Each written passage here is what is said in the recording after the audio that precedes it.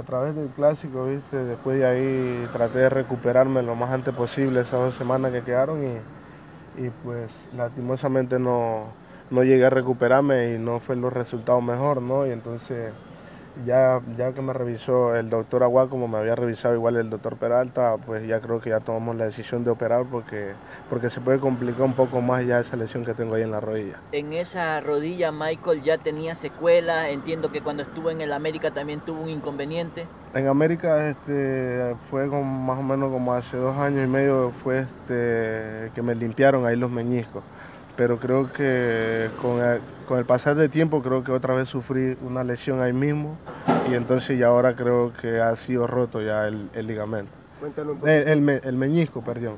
Cuéntanos un poquito. ¿Esto qué es meñisco o ligamento? Meñisco, meñisco, meñisco. No es ligamento. No, no, no, no, ligamento no, es el meñisco que está roto. Ya conversaste Sí. con el doctor Aguach. Sí, sí conversé ¿Qué te con él. No, él me, él me dijo que sí, que, que, que había dos opciones, que, que podía seguir pero se me podía complicar y que lo mejor era que me opera ahora para que, para que pueda tener una recuperación mucho más antes y más rápido y pueda estar un poco mucho más con confianza, ¿viste? Esto lo ha consultado eh, el hecho de operarse Michael con su familia primero, eh, con el cuerpo técnico seguramente, con los dirigentes.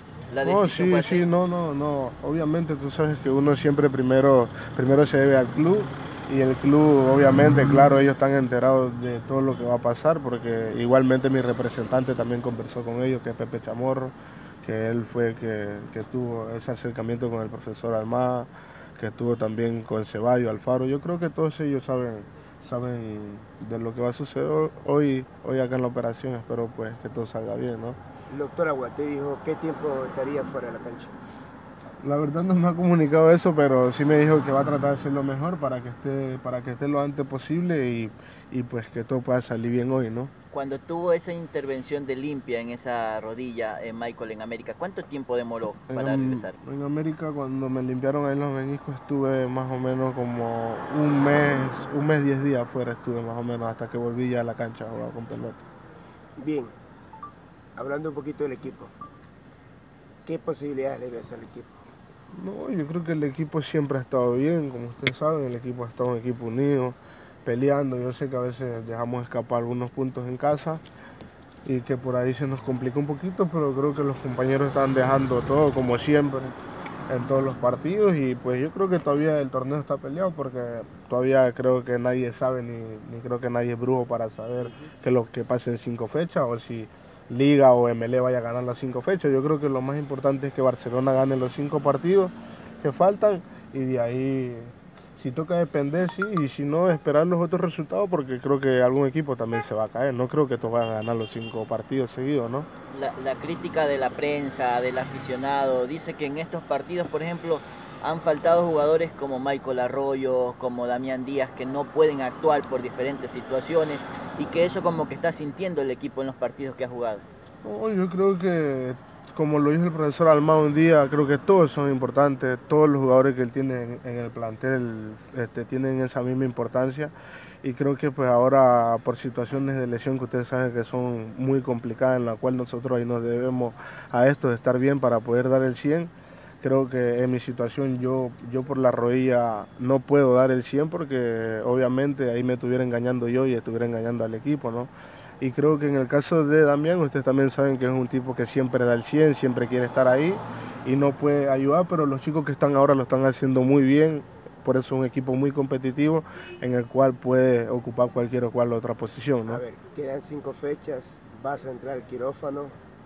Te deseo ya un feliz año o te veré en la cancha antes que termine el. No sé, Canchita, primeramente espero. Yo la verdad soy muy optimista, me gusta siempre que he estado en estas situaciones, siempre me he recuperado antes y espero esta vez no sea ahí la sesión para poderme recuperar muchísimo antes porque estoy con muchísimas ganas de estar otra Te vez. ahí. recuperas, será para la gran final entonces.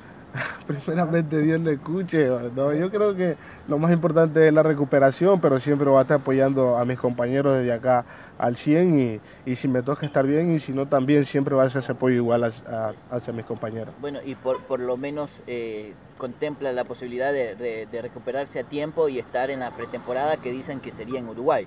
Primeramente Dios, esperemos que todo esto salga bien primero para el equipo, primero para uno en lo, en los, en lo, en lo de salud y de ahí la verdad esperemos que el año termine bien para poder estar ahí con el Grupo Unido. Para, para este llamado eh, de los partidos amistosos, el profesor Hernán Darío Gómez ha citado a dos jugadores de Barcelona, uno más por la lesión de, Cristian Ramírez, te hablo de Máximo Banguera, te hablo de Arriaga y de Beder Caicedo. ¿Qué les dices a ellos? Oh, que creo que se lo han merecido Beder como Máximo y como Arriaga, ¿no? Yo creo que han sido jugadores que han estado muy regular en el equipo y creo que se lo merecen, creo que tiene que aprovecharlo. Máximo ya es un tipo que sabe muy bien cómo, cómo es estar ahí en la selección y creo que lo único que le puede decir es que mucho éxito, ¿no? ¿Quiere decirle algo a la hinchada?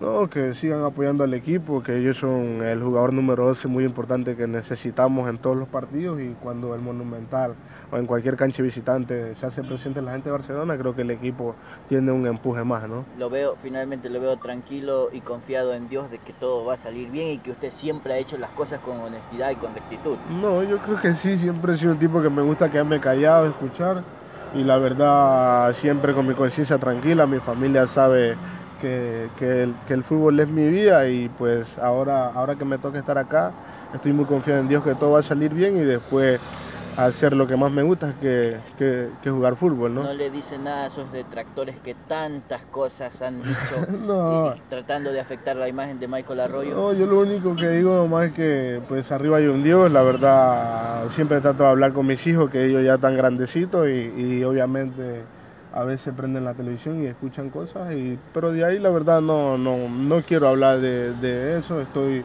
respeto mucho a la gente que da su opinión, pero yo siempre estoy confiado en Dios y ustedes saben que siempre yo me he manejado bien.